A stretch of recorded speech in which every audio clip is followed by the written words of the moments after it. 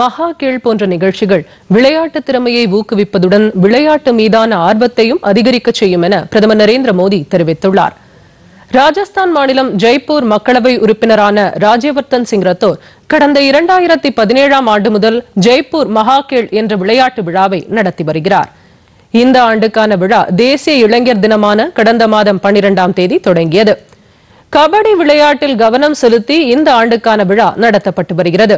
இதில் நாடு முழுவதிலும் இருந்து ஆறாயிரத்து நானூறுக்கும் மேற்பட்ட இளைஞர்கள் மற்றும் விளையாட்டு வீரர்கள் கலந்து கொண்டுள்ளனர். இந்த விழாவில் இன்று காணொலி காட்சி மூலம் உரையாற்றிய பிரதமர் நரேந்திர மோடி இதுபோன்ற நிகழ்ச்சிகள் விளையாட்டில் திறமையாளர்களை கண்டறிய உதவும் என்று குறிப்பிட்டார். இளைஞர்களால் முடியாதது என்று எதுவுமே இல்லை என்று குறிப்பிட்ட அவர் இளைஞர்கள் சுயமரியாதை வலிமை தற்சார்பு நிதி ஆதாரம் போன்றவற்றை பெற்றாலே அவர்களது இலக்கு எதுவாக இருந்தாலும் அது சாத்தியமாகிவிடும் என்றார்.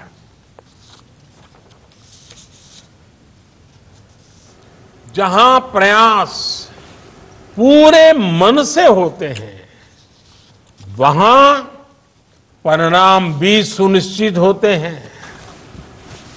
देश ने प्रयास किए, परिणाम हमने टोक्यो ओलंपिक्स में देखा, कॉमनवेल्थ खेलों में देखा, जयपुर महाखेल में भी आप सबके प्रयास भविष्य में ऐसे ही शानदार परिणाम देंगे।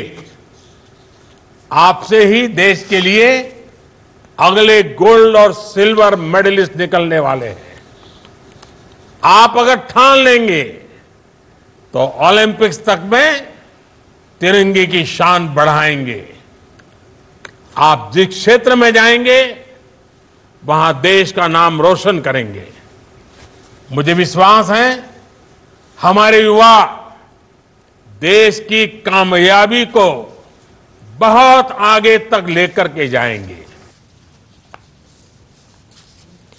முன்பு விளையாட்டு மீது ஆர்வமும் திறமையும் கொண்ட இளைஞர்கள் பெருமளவில் இருந்த போதும் அவர்களுக்கு நிதி ஒரு தடையாக இருந்ததை சுட்டிக்காட்டிய பிரதமர் நிதி கிடைக்காமல் எந்த ஒரு விளையாட்டு வீரரும் பின்தங்கி விடாமல் இருப்பதை உறுதிப்படுத்த மத்திய அரசு நடவடிக்கை எடுத்து வருவதாக கூறினார் விளையாட்டு தொடர்பான சிறு குறு நடுத்தர நிறுவனங்களுக்கு மத்திய அரசின் பட்ஜெட்டில் ஊக்கமளிக்கப்பட்டுள்ளதாக அவர் குறிப்பிட்டார்.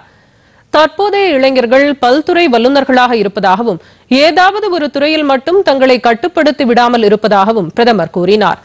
நாடு முழுவதும் தொடர்ச்சியாக பல்வேறு விளையாட்டு நிகழ்ச்சிகளை நடத்தி வருவதாகவும் இது புதிய திறமையாளர்களை கண்டறிவதற்கான வாய்ப்பாக அமைந்துள்ளதாகவும் நரேந்திர மோடி தெரிவித்தார். बेटियों की ये बढ़ती हुई भागीदारी एक सुखद संदेश दे रही है। आज़ादी के इस अमृत काल में देश नई नई परिभाषाएँ गढ़ रहा है, नई व्यवस्थाओं का निर्माण कर रहा है। देश में आज पहली बार खेलों को भी सरकारी चश्मे से नहीं बल्कि खिलाड़ियों की नज़र से देखा जा रहा है। मैं जानता हूँ युवा भारत की युवा पीढ़ी के लिए असंभव कुछ भी नहीं है।